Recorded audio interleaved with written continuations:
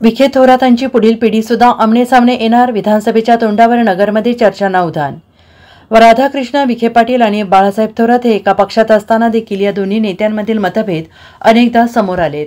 आज दोन्ही नेते वेगवेगळ्या पक्षात आहेत मात्र या दोघा नेत्यांची पुढची पिढी आता राजकारणात सक्रिय झालेली आहे. सुजय विखे यांनी संगमनेरमधून विधानसभा निवडणूक लढवण्याची इच्छा व्यक्त केली. तर दुसरीकडे थोरात यांची कन्या जयश्री थोरात या देखील आता राजकारणात सक्रिय झाल्याने आगामी काळात थोरात आणि विखे यांची पुढची पिढी समोरासमोर येणार का हे पाहणं आता महत्त्वाचं ठरणार आहे.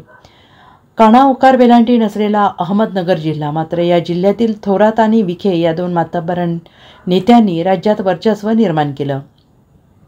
एका पक्षात असताना देखील या दोन्ही नेत्यांचं कधीच जमलं नाही. मात्र आता दोन्ही नेते परस्पर विरोधी पक्षात आहेत. आता हे सगळं चित्र असताना थोरात आणि विखे यांची पुढील पिढी राजकारणात सक्रिय झाली आहे. नगर लोकसभा निवडणुकीत पराभव झाल्यानंतर सुजय विखे यांनी संगमनेर विधानसभा मतदारसंघात निवडणूक लढवण्याची इच्छा व्यक्त केली.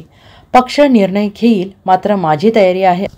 असं सूचक वक्तव्य करताना सुजय विखे यांनी एक प्रकारे बाळासाहेब थोरात यांना आव्हान दिलं आहे. Bureau report S B N Marathi Ahmednagar.